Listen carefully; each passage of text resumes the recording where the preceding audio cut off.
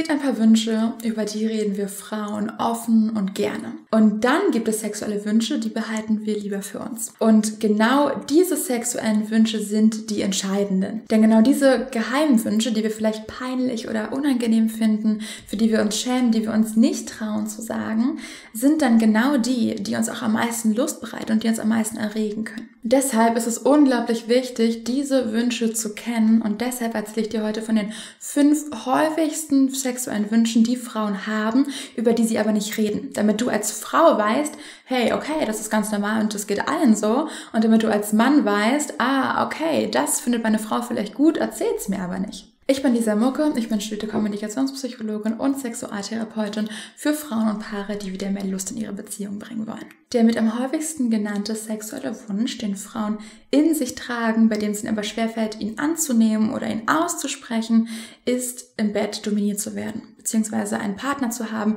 der im Bett dominanter ist und der mehr die Führung übernimmt. Und bei Frauen kann es dann entweder so sein, dass sie gar nicht wissen, dass sie diesen Wunsch haben oder dass sie denken, der Wunsch ist nicht in Ordnung. Und wenn sie nicht wissen, dass sie ihn haben, dann ist es in Beratungen bei mir meistens so, dass wir dann darüber reden und das so ein bisschen rauskommt, weil die Frau dann beschreibt, ja, also ähm, was ich zum Beispiel total gut finde, ist, wenn mein Partner mich mal so doller gegen die Wand drückt, das fand ich irgendwie gut, oder wenn er ähm, mich so in den Haaren festhält und so ein bisschen dran zieht, oder wenn er seine Hand auf meinen Hals legt, oder wenn er meine Arme festhält und ich nicht so richtig loskomme. Ähm, das beschreiben Frauen mir manchmal und haben dann erst gar nicht so einen Zugang dazu. Und sind dann so, hm, ich weiß nicht so genau. Ähm, und merken dann so, ja, aber eigentlich macht das schon was mit mir. Eigentlich möchte ich das vielleicht öfter haben. Ähm, und das sind dann so diese feinen Spuren, wo man so merkt, ah, okay, da ist irgendwas. Manche Frauen denken aber auch, das ist falsch. Also manchmal haben sie diese Erkenntnis und denken dann, ja, okay, ich finde es vielleicht ganz gut irgendwie und ich habe vielleicht auch so Vorstellungen von einem Mann im Anzug, der so ähm, in einer Führungsposition ist und irgendwie ganz viel Macht hat, so ein bisschen klischeehaft.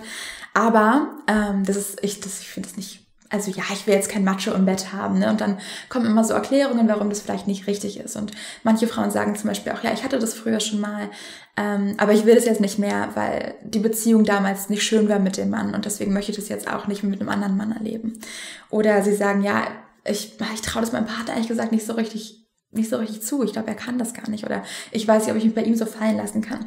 Das heißt, manche Frauen wissen sogar schon, dass sie es gut finden, aber haben dann noch so Sätze im Kopf, warum sie denken, dass es nicht funktioniert. Und das ist ganz wichtig, sich das anzuschauen, weil darin eine sehr große Ressource steckt. Und wenn du als Frau ähm, dir wünschst, dass dein Partner mehr Führung übernimmt, dass er dominant am Bett ist, dass du dich mehr hingibst, mehr die Kontrolle abgibst, dann kann es sehr gut sein, dass es ein großer Schlüssel zu deiner Lust ist. Und wenn du das nicht zulässt, dass du sexuell ja auch ein Stück weit was verpasst, weil es eben sein kann, dass du viel mehr Spaß an der Sexualität hättest, wenn du diese Seite mehr ausleben würdest. Und das ist auch ganz wichtig zu sagen. Also erstmal ist Dominanz nicht gleich Dominanz und dominiert werden heißt jetzt nicht gleich wie ans Bett gefesselt und geschlagen zu werden.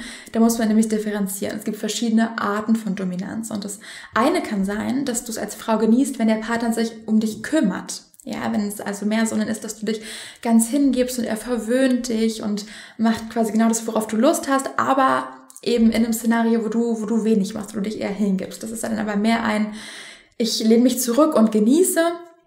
Und das andere geht eher Richtung härterer Sex. Ich möchte gerne doller berührt werden, fester angefasst werden. Ähm, das sind die Sachen, die mich irgendwie antören, wenn es einfach so ein bisschen rougher zur Sache geht. Wichtig ist hier zu sagen, sehr, sehr vielen Frauen geht es so. Also tatsächlich gibt es da verschiedene Studien, wo irgendwas Unterschiedliches rauskommt, aber man sagt so durchschnittlich 80 Prozent der Frauen finden es gut. Ähm, das heißt, du bist damit auf jeden Fall überhaupt nicht alleine und gerade wenn du merkst, du hast da Fantasien dazu, vielleicht auch Fantasien, die noch weitergehen, in eine härtere Richtung, vielleicht auch in Richtung Erniedrigung, dann kann ich dir sagen, das ist auch vollkommen normal. Dazu habe ich schon mal ein anderes Video gemacht, was ich dir unten in der Infobox verlinken kann.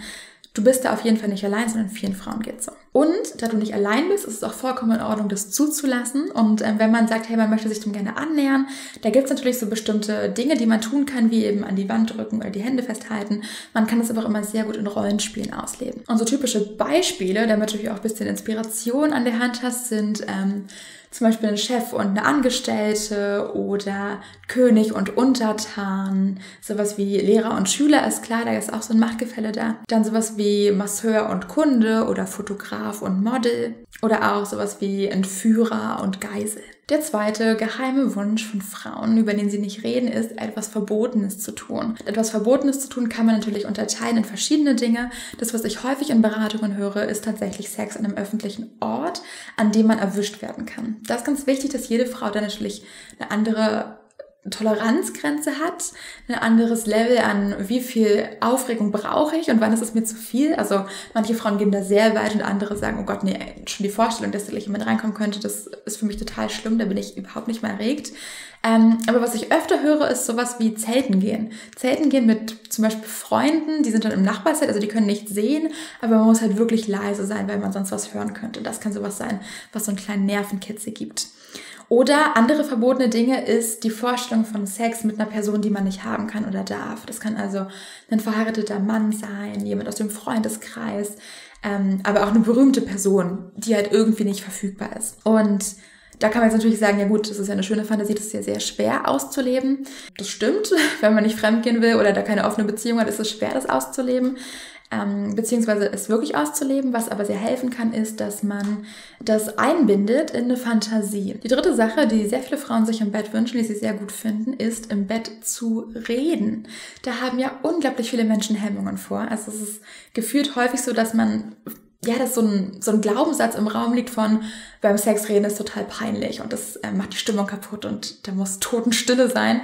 Ähm, und das Lustige ist, dass solange man beim Sex nicht redet, findet man Reden beim Sex sehr, sehr merkwürdig. Und sobald Paare erstmal anfangen, beim Sex zu reden, sagen sie, also wenn ein Mann jetzt beim Sex nicht mehr redet, dann habe ich das Gefühl, es ist total unangenehm und das ist total komisch, weil dieses Miteinander reden nämlich extrem verbindend ist. Deswegen ist es auch was, was man auf jeden Fall ausprobieren kann und was eine große Ressource ist. Mm, da ist jetzt wichtig, es muss nicht unbedingt dieser Dirty Talk sein, von wegen ich äh, jetzt das und das mit mir machen oder das fühlt sich jetzt so und so für mich an. Und gerade diese ganz schmutzigen, harten Worte müssen es auch nicht sein. Es gibt sehr viele verschiedene Möglichkeiten, Sprache in Sexualität einzubinden und dadurch Sexualität schöner zu machen. Eine Vorstellung, die ich häufig von Frauen höre, ist zum Beispiel, dass ihr Mann auf einer Fremdsprache mit ihnen redet, die sie selbst vielleicht gar nicht so gut versteht. Also zum Beispiel Englisch, Spanisch, Russisch ist ja auch eine relativ harte Sprache. Ähm, das ist was, was Frauen erregend finden können, wenn du als Mann mit ihr redest und sie vielleicht nicht alles versteht, weil es so ein bisschen so einen, einen Fremdheitstouch mit reinbringt, der sehr aufregend sein kann. Ansonsten kann es auch einfach sein, dass man vor dem Sex darüber redet, was man gleich miteinander machen möchte. Man kann sich Komplimente machen, man kann aber auch allgemein darüber reden, was einem gefällt und was man gut findet. All das sind sprachliche Dinge, die man mit in die Sexualität einbeziehen kann, die erotisch sein können, die Sexualität verbessern können und die Frauen sich häufig wünschen. Die vierte Sache, die Frauen sehr gut finden, die sie sich vielleicht heimlich wünschen, ist, selbst dominant zu sein. Das sind Studien zufolge nicht ganz so viele Frauen, die, die gerne dominiert werden wollen, aber auch einige genießen es total beim Sex aktiv zu sein, die Person zu sein, die entscheidet, die die Führung übernimmt. Das heißt, ähm, was da zum Beispiel gut sein kann, ist, dass Frauen es genießen, ihren Partner ans Bett zu fesseln, weil es ja einfach so ist, dass Männer körperlich stärker sind als Frauen und es schwer sein kann, dominant zu sein, wenn der Partner es nicht zulässt, wenn er seine Hände aber nicht benutzen kann, dann macht es schon mal leichter und ihn zu verführen, einfach mal zu machen, worauf sie Lust hat, ähm, sich zu überlegen, was sie heute machen will und das dann mit ihm zu tun, ohne dass er sich so viel einmischen kann. Dazu zählt auch, dass äh, Frauen zum Beispiel die dominantere Rolle übernehmen, indem sie ihm sagen, was er heute machen soll, wie sie es gerne hätten und ihm zu sagen, ja, so wie instruieren und sagen, hey, ich möchte das, ich möchte das und er folgt dem Ganzen so. Wenn man das machen möchte, gerade wenn man vielleicht auch beide Seiten ausprobieren möchte, gibt es so, einen, so eine Übung von Ulrich Klemer, das ist ein Sexualtherapeut, die, das heißt, glaube ich, Diener und Dienerin und da geht es darum, dass eine Person sozusagen der sexuelle Diener ist und alles macht, was die andere Person möchte, bei einem Mal Sex und das beim nächsten Mal quasi getauscht wird. Das sind die Person, die ähm, der Diener oder die Dienerin war, dann die Person ist, die das Sagen hat und die andere Person zu Diensten steht, sodass jeder einmal mal die Führung übernehmen kann und ganz klar sagen kann, wo es lang geht, ohne dass es irgendwie komisch ist. Und es ist halt ganz klar, hey, das ist jetzt das Spiel, das ist jetzt das, was wir machen und danach wird getauscht. Und das kann sehr aufschlussreich sein und auch sehr erregend für beide Seiten. Die fünfte und letzte geheime Vorstellung, die Frauen haben, die ich auch in fast jeder Beratung höre, ist, etwas mit einer anderen Frau zu haben. Es ist bei vielen heterosexuellen Frauen so, dass sie sich vorstellen, was mit einer anderen Frau zu haben. Bei den allermeisten Frauen ist es tatsächlich so, dass sie es nicht aktiv umsetzen wollen oder zumindest nicht aktiv angehen, sondern es eher so eine Vorstellung ist und so eine Idee von, oh, ich würde es gerne mal ausprobieren.